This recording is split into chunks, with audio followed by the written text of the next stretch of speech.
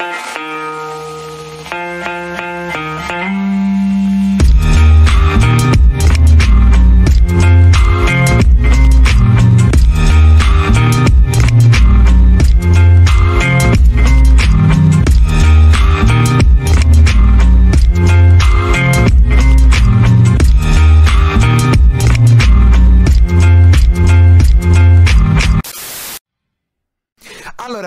ragazzi, oggi è un giorno particolare perché ieri notte purtroppo è morto Otsuka. Otsuka è stato un grande nome dell'animazione giapponese, il sensei di Miyazaki e Takahata peraltro. Per dire così, due nomi a caso, la mente dietro a tantissimi progetti che hanno rivoluzionato l'animazione giapponese. Allora, innanzitutto, intanto che aspettiamo Caverna, come hai preso la notizia di questa scomparsa? A parte che era molto, molto Eh. anziano, eh, però... Sì, aveva la sua età e infatti ha anche superato in termini di vita un suo allievo, Takahata. E diciamo che l'ho presa proprio in questo senso qui perché sta finendo un'era. Tante persone che avevano caratterizzato comunque gli inizi dell'animazione stanno scomparendo. Lui aveva Eh, bene o 90 male- anni, quindi insomma mm, Sì. era abbastanza anziano, eh, c'è da dire questo. E noi siamo non qui lavorava anche... poi da un sacco di Eh, vabbè, tempo eh, insomma, chissà, eh, magari aveva problemi di salute oppure era semplicemente stanco e anziano. Non è che tutti i giapponesi devono per Certo. forza lavorare fino all'ultimo respiro, ecco, c'è questa concezione, ma non è anche per colpa di Miyazaki e Takahata. suo allievo lo fa. Esatto, esatto, esattamente. Però, allora, chi è innanzitutto per dare un'infarinatura? Chi è Yasuo Otsuka? Perché molti Sì, non lo eh, sanno. Otsuka è un animatore, pro- probabilmente uno degli animatori più importanti della storia di animazione giapponese, eh, che ha influenzato buona parte degli anni 50, 60 e 70, sia a livello cinematografico che televisivo. E soprattutto mh, bisogna anche considerare che lui non è che volesse fare l'animatore, lui voleva fare il vignettista satirico. È vero? E racconta infatti in un documentario su di lui, eh, che mi sembra si chiami eh, Yasuo Otsuka Joy's, Joy of Motion, una cosa del genere, e, mh, che praticamente lui eh, da bambino vide una locomotiva, venne fa- affascinato così tanto da disegnarla e si appassionò poi al disegno. E, Questa roba qua è un... mh, appunto, Io ci ho sempre trovato un parallelismo con Takata. eh, Mhm. Che lui ha avuto due, due robe che l'hanno sconvolto e che poi l'hanno portato a sviluppare una, una particolare ehm, poetica all'interno dei propri film. E uno è il bombardamento della sua città eh, natale. certo. E poi il, il film francese che è Le Roi e, e- vabbè non, non lo pronuncerò mai bene aspetto Eh, caverna per, per Eh, la pronuncia la per la pronuncia francese che lui è quello che sa il francese. Ecco quello l'ha, l'ha sconvolto particolarmente e vabbè comunque il bombardamento è quello che gli ha, l'ha, l'ha flashato per sempre che poi l'ha portato a appunto a costruire la sua poetica. Ricordiamo il capolavoro assoluto di Takata Una tomba per le lucciole che è proprio cioè è, figlio della sua esperienza da bambino. Quindi sì c'hanno tutti questo flash questo que- come se, come se fosse proprio una, una benedizione, una, una folgorazione, fantastico. Prego, prego, comunque Italo, Eh scusa sì, ti ho interrotto. decisamente sì. Sì, poi ci sono al- anche altri collegamenti, giustamente la Toei, anzitutto perché lui inizia a lavorare, eh, mi sembra nel 57 o comunque alla fine degli anni 50, eh, aveva più o meno 25-26 anni alla Toei, eh, vede un annuncio su un, eh, un quotidiano, sullo Yomiuri Shimbun e decide di provare, perché all'epoca comunque non è che ci fosse bisogno di eh, competenze davvero specifiche, perché l'animazione è una cosa ancora abbastanza embrionale e non c'erano corsi specifici per diventare animatori. Quindi lui inizia ehm, sotto l'ala di Yasujimori, anche lui, eh, e di Sanae Nakayama, mi pare si chiamasse, che era un regista abbastanza famoso agli inizi dell'animazione giapponese, eh, e mh, matura un senso d'animazione molto concentrato sul movimento e sul dinamismo. Ehm, se volete vedere qualcosa dell'inizio, ci sono tutti i vari film appunto della Toei, eh, i grandi classici che adesso Dynit sta riproponendo Grazie in. DVD anche su Vid. eh, che potete recuperare vi fate un'idea appunto dell'opera di eh, Otsuka, soprattutto in Sarutobi, una cosa del genere. In Italia c'ha un nome tipo il ninja, ballerino, roba del genere. No, eh, cose classiche. Un'altra cosa, secondo me, molto figa di Otsuka che lui è testimone diretto di un periodo eh, molto particolare in Giappone mm. che raramente si vede, si vede oggi, figuriamoci a metà degli anni 60, che è la protesta sindacale a cui partecipano anche eh. Miyazaki e Takata. E ragazzi, per far scappare proprio tutti gli spettatori possibili, sappiate che in quegli anni in Giappone c'era un, un for- una forte protesta da parte degli animatori perché gli animatori erano praticamente schiavi, erano schiavizzati dalla Toei e si pisciavano addosso, addirittura cioè, succedeva qualsiasi cosa all'interno di quegli studi e eh, a queste proteste sindacali c'erano anche Miyazaki e Takata ovviamente e in, in maniera diretta partecipò anche Otsuka e, certo. e, e, ci fu proprio questa rivoluzione qua non fu solamente una rivoluzione per quanto riguarda il, i diritti degli animatori ma ci fu anche una rivoluzione concettuale perché ovviamente più eh, gli animatori respiravano, più gli animatori avevano, eh, diciamo, come si può dire, meno si pisciavano addosso, meglio era per la qualità delle opere, più eh, sperimentazione si aveva. Certo. Infatti eh, Otsuka fu uno dei primi a capire che l'animazione si poteva eh, traslare anche su prodotti per adulti e diede poi il là attaccata per realizzare il primo prodotto, il primo lungometraggio per adulti che conosciamo, che fu un po' un flop clamoroso, che è la grande avventura del piccolo principe Valiant. Lui appunto, um, come anche gli altri dipendenti, come stavi dicendo tu, erano abbastanza stanchi, mm, comunque dopo decenni di prodotti diretti principalmente ai bambini, che soprattutto poi mutuavano l'estetica dal cinema occidentale prevalentemente. Disney, certo. Ancora non c'era un segno davvero distintivo eh, che uh, verrà poi correlato all'idea di anime. Si parlava ancora di un'animazione abbastanza embrionale con la Toei che cercava un po' di replicare appunto la Disney.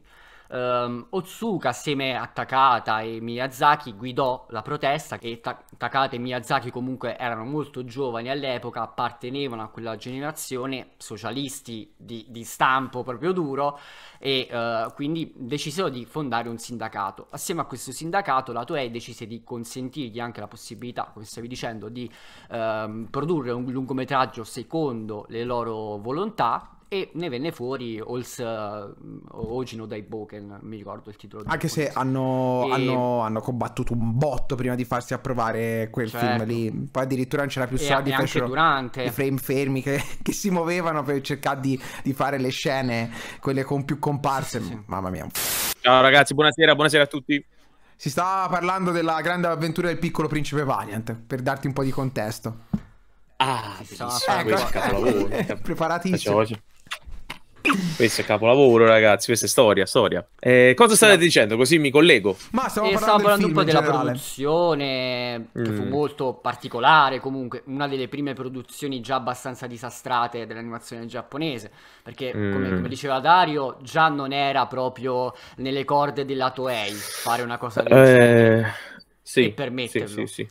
E poi vero, vero, durante vero. la produzione comunque i costi mm. si alzarono un sacco, i tempi come nella tradizione poi di Takahata, pure quelli si allungarono all'inverosimile, il film da, da, dover eh, essere prodotto in 12 mesi, mi sembra 11-12 mesi, ci mise due anni ad uscire e fu un flop clamoroso. Sì, fu il film più costoso della sua generazione, tra l'altro, è sì. un flop clamoroso. Eh, ma infatti la produzione è veramente costellata di imprevisti e si vede pure dal film che ha delle scene totalmente ferme. Cioè non ci sono proprio più le animazioni. A un certo punto il film si dimentica di essere animato. E... sì, però... Sì, se... sì, sì. Sì, sì, proprio così, si scorda e ci sono questi frame incredibili dove c'è il sonoro va avanti, le, le, il doppiaggio pure, però i personaggi non si muovono. Eh, particolare però, è eh, veramente unico. Certo. Lì la responsabilità eh, non era nemmeno, cioè chiaramente i produttori della Toei Doga la scaricarono tutta su Otsuka. E questo è ovvio. E infatti si ritrovò con lo stipendio dimezzato cioè scendeva sempre di più, mese dopo mese lo stipendio scendeva e lui dice, bah, chissà come mai scende lo stipendio, perché accadono queste cose, però è veramente un film incredibile. Voglio fare una domanda certo. un po' provocatoria, secondo voi, prendiamo uno degli ultimissimi film usciti con questo stile, ovvero mm. Mary e il fiore della strega, che possiede uno stile sì. profondamente Ghibli, ok? Uh, secondo sì. voi possiamo ringraziare Otsuka se eh, oggi è sopravvissuto quello stile e milioni di fan in tutto il mondo riconoscono quello stile collegandolo allo studio Ghibli oppure è merito di Miyazaki e Takata che l'hanno saputo un po' reinterpretare e modificare nel tempo? Mm. O entrambi, eh? Anche. Per, lo stile, per lo stile in realtà penso più Mori che, che Otsuka. Okay. Anche se mm. obiettivamente in Miyazaki vive molto anche Otsuka perché uh, Miyazaki ebbe modo di sfondare in Samurai Giants, che è una serie col cava design di Otsuka, e gli deve molto. Mm. E, però obiettivamente Takata e Miyazaki devono tanto ad entrambi e hanno basato il loro stile sull'idea di animazione mm. che loro avevano forgiato. Quindi sì. Okay. È, un lavoro, è, un lavoro, di tutti, è un lavoro di tutti, non può, essere, non può prescindere l'uno dall'altro, secondo me, anche perché certo. probabilmente eh, Otsuka, che era sì il leader in quel momento iniziale, no? dice io ho fatto tutto e vi ho chiamato poi a lavorare con me per aiutarmi a fare questa roba qua. Eh, poi dopo si è ritrovato ad essere quello che faceva le animazioni per Miyazaki, no? per Takata nei loro film. Eh, mh, probabilmente perché ha saputo anche riconoscere la loro, la loro forza, la loro genialità. È, è, difficile che uno come Otsuka, che nelle interviste rivelava sempre un certo malcontento nei confronti dei nuovi animatori, eh, forse un po' boomer, diciamo, eh, perché diceva: Ma i, nuovi, i nuovi non si sudano niente, non si sudano il lavoro perché siamo tutti ricchi e bene o male lo si fa tanto per fare l'animatore, ma non c'è un vero motivo artistico per fare gli animatori come facevamo noi, e così diceva. Cioè, uno, uno così è eh, chiaramente rimasto abbagliato anche dalla forza di, di Takata e Miyazaki e ha dato sfogo così alla sua arte attraverso loro. Allora, voglio Ciao. parlare con voi di qualcosa di un po' più pop, così da cercare di mm. mm. incontrare il grande pubblico, ovvero sì. parlare della, della, creatura più forte, la creatura più iconica a cui Otsuka, diciamo, ha dato i Natali, mm. o come non è che ha dato i Natali, diciamo che eh, l'ha ritratto, l'ha raffigurato in una maniera tale che probabilmente è rimasta nei nostri cuori più la versione di Otsuka, Miyazaki, Takata e tutti quelli che ci hanno mm. lavorato che la versione versione del manga originale, che ovviamente sto parlando di Lupin, Lupin terzo. Eh, dato che Otsuka si è avvicinato a un altro studio e eh, gli è stato commissionato, eccolo lì, la TMS, esatto, gli ha commissionato il pilot di Lupin terzo, ovvero eh, il pilot di quello che poi quella che poi sarebbe diventata la serie verde, chiamata così, quella con la giacca verde, ok? La prima serie di Lupin. E, ehm, secondo voi, quanto c'è di Monkey Punch all'interno della versione di Otsuka e perché soprattutto è così distante dalla versione del manga mm. originale? Io credo, vabbè, all'inizio eh, sicuramente Masaki Osumi, eh, che si era occupato di tutto e aveva preso Otsuka eh, a lavorare, eh, gli ha dato quelle, quell'impronta originale di Monkey Punch, perché comunque guida sempre eh, la, la, Mercedes eh, e ancora un po' quel, quel, ladro annoiato, un po' bohemien, no? E dice, vabbè, faccio il ladro tanto per, per non per svoltare, ma per, perché tra, uno, tra un omicidio e l'altro si può pure rubare sostanzialmente.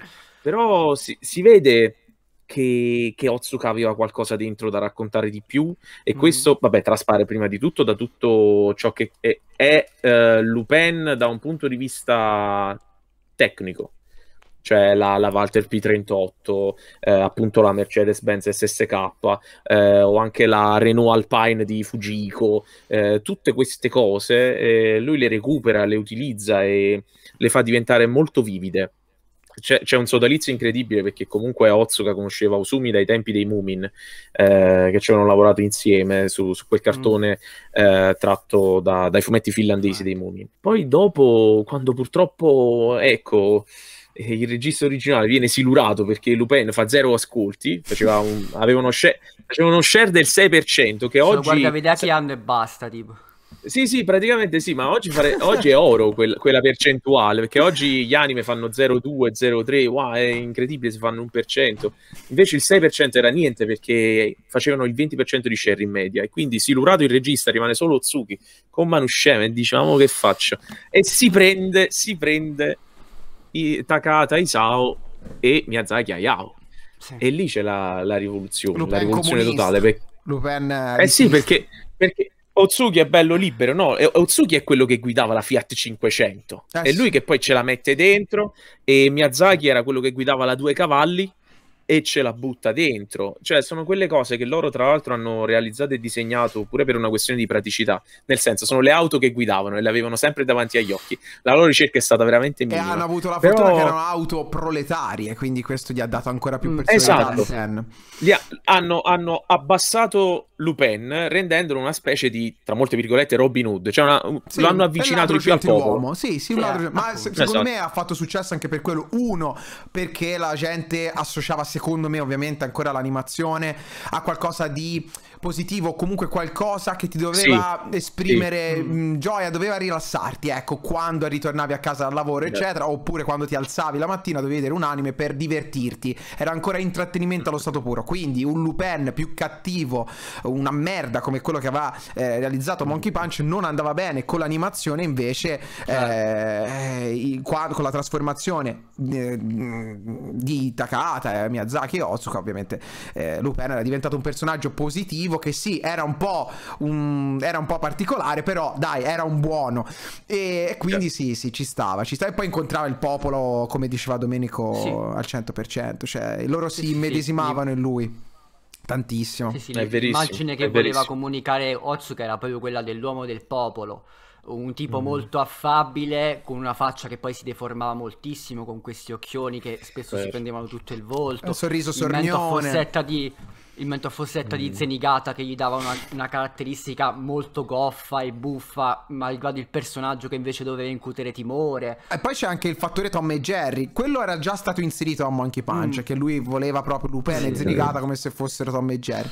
Però ecco, esatto. in, in quel, nell'anime, nella prima serie animata, questa roba qui è proprio... Oh, Madonna, c'è, diciamo che c'è un, sì, sì, è, un focus è portato all'estremo. È abbastanza, abbastanza. E quella cosa lì funziona sempre, funziona nelle Looney Tunes Tunes, funziona in Tom e Jerry e funziona anche in Lupin e Zenigata, eh, sì. c'è verso. E poi è, cu- è, curiosissima questa cosa perché Otsuka eh, ha iniziato a disegnare eh, sin da quando era piccolo, senza mai passare per una scuola professionale, perché poi insomma all'epoca dove c'erano queste sì, tipo di accademie do- dopoguerra, quindi senza niente. Non so se lui l'ha detto, però eh, praticamente eh, Otsuka ha cominciato a disegnare copiando per intero tutti gli insegnamenti di Preston Blair, eh, fra- eh, fratello di, di, di, Mary Blair per, per, la Disney, che era un famoso animatore di, dei Walt Disney Animation Studios, animatore di Topolino nell'apprendista stregone, fra l'altro, di ah. Pinocchio, di Bambi, che poi andò a lavorare per fare i corti di Tex Avery alla MGM mm. e anche a, a, alla Anna e Barbera. Cioè quello senza sapere né leggere né scrivere praticamente, perché poi l'inglese non lo capiva. Otsuka non faceva altro che copiare e ricopiare tutti gli insegnamenti grafici di Preston Blair e chissà se magari quelle cose primigenie dentro di inseguimenti non siano rimasti, perché poi sono tornate anni oh, dopo. A voglia, a voglia. Ma, ma penso eh, proprio sono, di sì. No, sono tornate anche. L'animazione di quell'epoca lì era molto influenzata da mm. Tex Avery, appunto, da quel tipo di animazione molto movimentata che poi Yuasa adesso porta avanti, per esempio. All'estremo, sì, sì, sì, sì, sì, ovviamente. Oh, e tra le altre cose, Caverna ha ragione perché poi in realtà questi inseguimenti mm. si sono riproposti in una serie dove tra l'altro gli italiani hanno lavorato e dove gli italiani hanno messo i vaini perché si, era una esatto. serie coprodotta dalla Rai, dalla Rai, ovvero il fiuto di Sherlock Holmes perché lui curava proprio gli inseguimenti nel, nel fiuto di Sherlock Holmes e questa cosa è mega, è mega figa perché Otsuka ha avuto a che fare anche con i Pagò e quindi co, con gli italiani. Questa cosa è molto molto interessante molto molto figa. E poi vabbè ha fatto anche Conan quindi ragazzo del futuro che tra l'altro sta tornando prepotentemente con un'edizione clamorosa della Disney eh, che io ho preordinato prima mm. che vada via yeah. come il pane, che ne stamperanno 100. Anche io, anche io. Eh, Potessi io. Eh, va comprato, ha comprato per forza. E um, 100, 100 copie che andranno via, 100 stronzi sì. come noi. E ecco, quello è veramente un capolavoro che va riscoperto e si spera che quell'edizione serva a far riscoprire eh, Conan il ragazzo del futuro perché ma le persone Prime, le, le, lo possono sì esatto lo possono rivedere anche su Amazon Prime perché adesso c'è. E ecco voi che ricordi avete di queste, di queste serie? Di, di, Conan o il futuro di Sherlock Holmes? Uh, io il fiuto di Sherlock Holmes ricordo di, che avevo i libri avevo i libri, eh, perché all'epoca si, si, facevano questi libri eh, con dei, dei, frame e il racconto dell'episodio. Anche con Robot tutte... mi ricordo, facevano queste stronzate, tutti i racconti inventati di sana pianta da chissà quale di casa di sì, sì, sì, sì, era eh, la la Fabri, se non sbaglio, che Grande. faceva tutte queste robine qua. E io ce li avevo. Disney, tipo. Mamma mia, è vero, vero, verissimo, della Disney. Erano una roba bellissima perché, vabbè, era un personaggio secondo me molto ammaliante.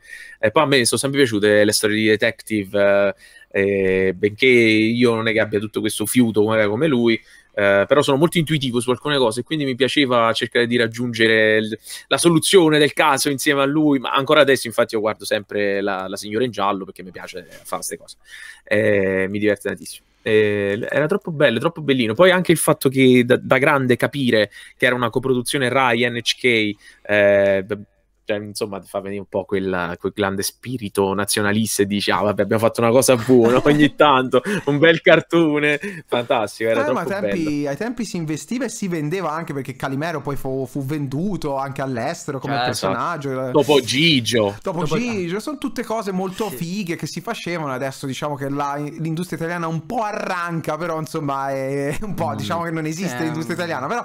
Eh, C'è più mercato. Le Wings, le Wings poi sono morte, basta basta, finite le Wings. Visto, ora torna. Sono fatto la serie TV adesso. Eh, eh sì, su Netflix, eh, vabbè. Vabbè. Poi invece, vabbè, di Conan, che io mi ricordo quelle cose bellissime di lui, che eh, il protagonista che cade da un'altezza assurda, cade giù a terra e fa con le gambe e poi sta benissimo.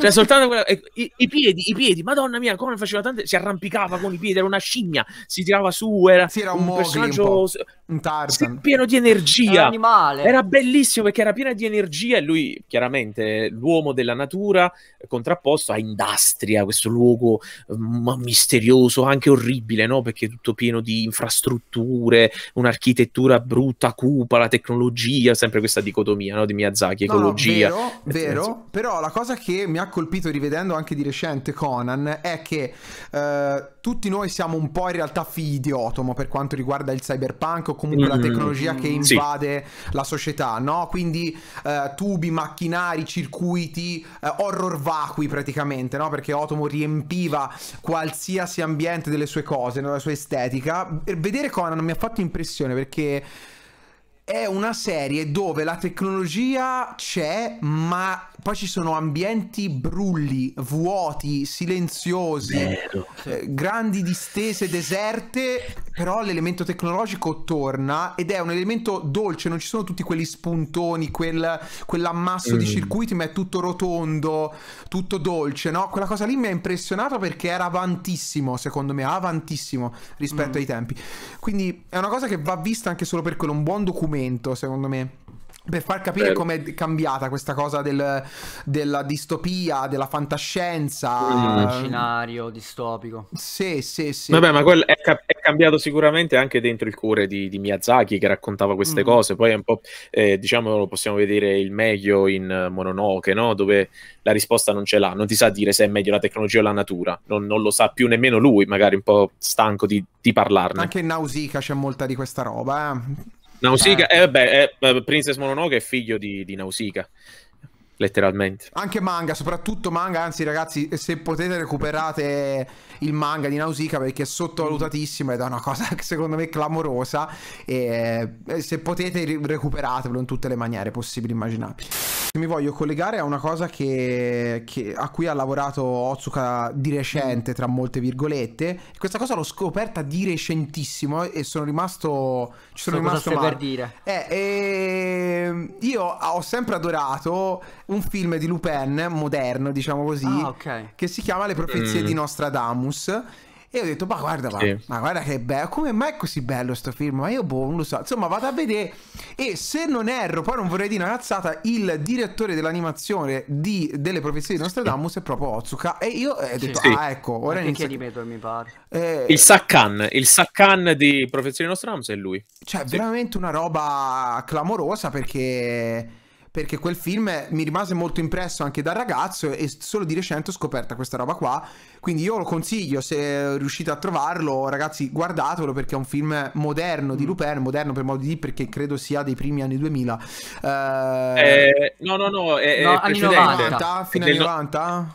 Ora controllo. 95. Ah, ok. 1995. Perfetto, ok, perfetto. Sì, lui aveva, aveva, lavorato un paio di film di quel periodo lì. Mm, sì. Gli altri due non mi ricordo quali fossero. Okay. Sono proprio le ultime cose che lui ha fatto perché beh, lui aveva 50 anni quando ha fatto il castello di Cagliostro, cioè era molto Porco vecchio, due. era già molto vecchio. il, tren- eh. il 30, lui 31 mi pare. Eh sì, sì, sì, è proprio... Cioè ha visto tutta la seconda guerra mondiale, sì, quindi figuriamoci. Mamma mia. Tra l'altro, da, io, io però pensavo, Dario, che ti riferissi all'ultima cosa che ha fatto. Spiega? Che è in quest'angolo di mondo. Ah, minchia, sì. Sì, sì, sì, sì. Lo sapevi? Che ho visto al cinema. Che lui praticamente... Questa cosa mi ha, mi, mi ha, molto incuriosito perché lui praticamente faceva parte di, del comitato eh, per la guida turistica volontaria eh, della città di Cure eh, in cui è ambientato il film e ha dato dei materiali e delle informazioni per il setting. Ok. Dai, è molto interessante. È curiosissima questa cosa, che lui a 70 anni ritorni all'animazione attraverso un'associazione di volontariato. Che figata, che figata. Che bello. No, lui, lui ha, ha, veramente dato tanto e è giusto che secondo me se ne parli perché eh, purtroppo si cita sempre Miyazaki, giustamente ci mancherebbe, giustamente mm. si cita Takata anche se un po' meno, ma di Otsuka purtroppo se n'era perso un po' le tracce, certo. un po' perché anziano, beh, era anziano, un po' perché lavorava poco un po' perché mm. comunque già all'epoca eh, muoveva i fili nell'ombra, ecco, a differenza invece di Miyazaki che si è sempre esposto pubblicamente, anche durante le proteste sindacali imbracciava il megafono e urlava alle folle, quindi quindi erano personaggi già diversi, ecco. Poi Miyazaki non ha mai rifiutato eh, loro, loro si, si conobbero proprio in quel periodo lì, sì, agli, sì, sì. agli, scioperi della Toei Doga. Chiaramente Otsuka non è che stava lì con le bombolette a spaccatutto come faceva Miyazaki, energico, però sì, sì, si conobbero durante le riunioni sindacali, questo sì. Madonna santa, che storie, che storie eh, fantastiche. Eh, ricordiamo tra l'altro che lui ha dato il logo de- della Toei fondamentalmente, perché lui è il character designer del, del film Il gatto, gatto con gli stivali. Sì, sì. Sì, sì, e che tra l'altro troviamo su ogni gadget possibile e immaginabile perché quello è il marchio della Toei, dell'approvazione della Toei, incredibile questa roba qua. Voglio, voglio chiudere facendovi una domanda, dato che praticamente mh, mm, l'unico rimasto di quella vecchia generazione di vecchi scureggioni, possiamo dire, è, è Miyazaki, eh, che sta lavorando ancora al suo film e ovviamente Suzuki che gli sta col fucile puntato addosso. E cosa vi aspettate dal prossimo film di Miyazaki? Che cosa farà Miyazaki io mi, as- io mi aspetto, Suzuki li sta vedendo morire tutti quanti. Il prossimo è Miyazaki, chiaramente. è questo mi aspetto. Cioè, no, no, Suzuki a, manda sempre una notizia: è morto questo, è morto quello, è morto... lui non muore mai. Suzuki immortale. A, a me Suzuki mi sa proprio, mi dà l'idea di un Highlander. Proprio non gliene frega un cazzo di niente. Poi anche nel documentario Il regno dei sogni della follia sembra proprio inscalfibile. Inscalfibile. Gest- Vero, vero. Sempre col sorriso in faccia. È un uomo d'acciaio. Sì, gestisce le emergenze come se fosse come per fare il produttore dello studio Ghibli per forza, mm. per gestire uno come Takate, uno come Miyazaki, se non ti fai la scorza d'acciaio non resisti. Eh. Sì, se no se lo mangiavano vivo. Questo è vero. Madonna, eh... boh, io non lo so. Io non lo so che cosa aspettarmi, sai, perché adesso con le tecnologie nuove lui mi sembrava anche abbastanza ammorbidito. Miyazaki ha detto ok, magari possiamo lavorare con uh, la CGI, con il 3D, possiamo inserirlo dentro, anche se non è pienamente convinto, perché lui è uno che deve ritoccare sempre, no? Cioè, i film suoi ci mettono una vita a uscire perché li deve correggere a mano, uno per uno. Cioè, ma che, che lo fai a fare? Fai, fai, il regista e basta. No, ci deve, deve lavorare lui a mano. Col, col 3D è difficile, non, non lo può fare non lo può fare con si la CGI, non può mettersi accanto, lì. la sua erede, no? La ragazzina che gli sta, che, che, le, che gli sta accanto, no, sì, sì, signor Miyazaki, sì, bellissimo, tutto fantastico. Eh, e basta, poi fa tutto per conto suo, la ginnastica, lui è contento così. Ora, però secondo me è un po' più solo, un po' più triste eh, in quello studiolo lì. Poveri, almeno c'aveva, eh, era, eh. Takata era un motore, soprattutto quando sapeva che era lì a fare la principessa splendente, Miyazaki stava tranquillo, ora non c'è più nemmeno Takata, mettigli il pepe al culo e quindi, sì. e quindi è rimasto un po' così. C'è solo Suzuki. Gli manca quel contraltare. E eh beh, c'è Suzuki che poi invece sta lì granitico e non è che può fare più di tanto. Oltre a dire te devi muovere, non è che fa più di tanto. eh, so. eh, boh, io, io, io, però mi aspetto comunque eh, non una rinascita, la rinascita c'è già stata con Spirited Away, la città incantata. La rinascita non, non ci sarà. La chiusura era con Princess Mononoke. Eh, non lo so, però credo che sia un ultimo un ultimo lascito, eh, non a livello di si alza il vento, però un ultimo lascito molto buono e positivo. Credo che vorrà raccontare qualcosa di davvero tanto tanto positivo, non agrodolce. Spero una cosa positiva. Non so, io, io, cioè, io veramente come, come chiusura perfetta eh, mi tengo si alza il vento perché ora vabbè, vabbè che la principessa splendente mm. proprio a livello artistico probabilmente la cosa più bella che abbia mai realizzato lo studio Ghibli in Sicuro. tutta la sua esistenza, Sicuro. però si alza il vento era proprio il lascito di Miyazaki, cioè c'erano proprio delle frasi mm. che erano collegatissime a lui, c'era proprio lui che sì, parlava sì. al pubblico e ci salutava e diceva arrivederci e grazie.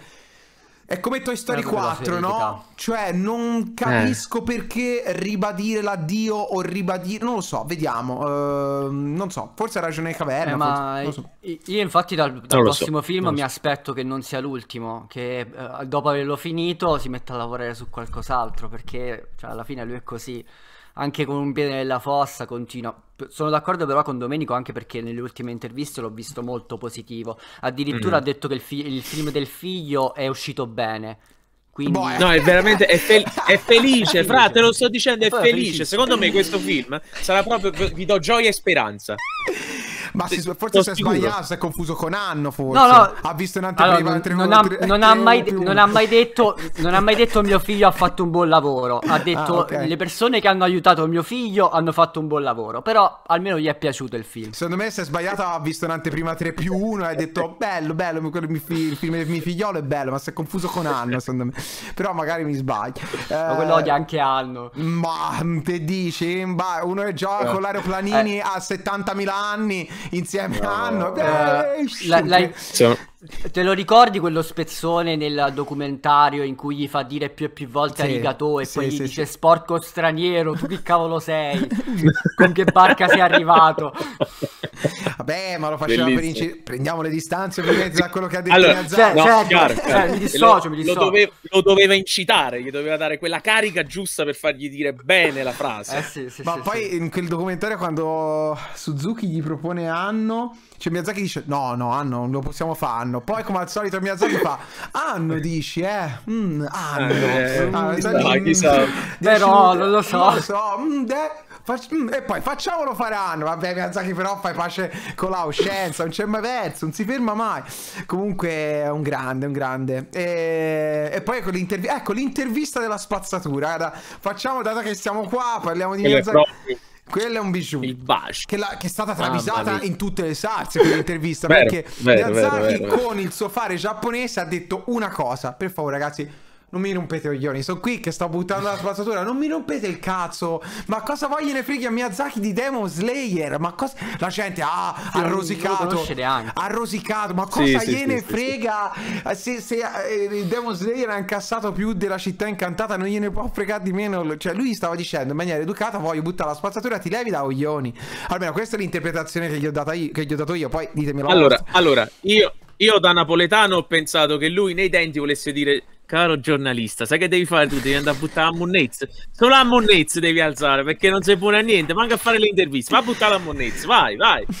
Può darsi, bella. Anche questa visione non è male. È più violenta, però ci sta. A me, a me ha ricordato un sacco quel video di quella scrittrice che ha vinto il Nobel, che tipo gli va un, un giornalista vicino, gli dice, lei lo sa che ha vinto il Nobel? Lei gli fa, mm, Va bene, e mi aiuta a portare la spesa in casa, grazie. Più o meno così l'ho visto. È vero, un po' così. È come sì, Bob Dylan, sì, sì, uguale, la stessa cosa. Vabbè, che frega. Anche perché lui alla fine dell'animazione ha smesso di interessarsi dagli anni Ottanta praticamente, anche prima probabilmente. Eh, sì, lui pensa a fare a comunicare quello che vuole dire lui in quel momento. Sì, sì. Ora domani c'è Raffaelli intervistato, viene qua sì, a, a, chiacchierare di animazione, lui l'ha intervistato, quindi gli chiederò un Grande. po' di roba. E però lui, vabbè, da una piccola anticipazione mi raccontò una volta che lui cioè, prova ra- poche volte nella vita delle gioie. Eh, mm, lui gli chiese: Ma come mai tutta questa poesia, tutta questa tranquillità, bellezza nei suoi film? Cos'è che le dà tanta energia positiva? E Miyazaki disse: Ma veramente io zero. Poi ci pensa un po' perché ha visto che Raffaele ci è rimasto male. Sale su, prende un libro italiano di aerei italiani con tutti degli appunti per le traduzioni per le traduzioni in giapponese, fa ecco quando mi fanno questi regali con i libri, cioè i libri con gli aerei eccetera, io sono contento, ecco questi sono gli unici momenti in cui io sono felice, quando mi regalano libri o l'aereo, va bene Miyazaki, se sei contento te sono contento anch'io, eh. vabbè comunque Ma è... secondo me, secondo me come, come, con l'intervistatore era per dire Raffaele sei venuto qua a fare l'intervista e non hai portato manco un regalo, che sei venuto a fare? Sempre con la visione napoletana della cosa, eh, ovviamente. Ovviamente. Ti ha insegnato a te l'educazione. Buono ragazzi, grazie mille di essere passati, è stata, è stata una chiacchierata molto carina, molto carina. Eh, vi abbraccio forte e speriamo Sono di non ritrovarci quando muore qualcuno di importante, ma speriamo di ritrovarci e basta, perché se no non ha senso. Dai, quando vuoi. Fate a modo ragazzacci. Oh, grazie mille. Ciao. Un abbraccio, buona serata ciao, a Dario. tutti. Ciao, ciao buona continuazione, ciao, buona serata. Grazie. Ciao ciao ciao ciao ciao.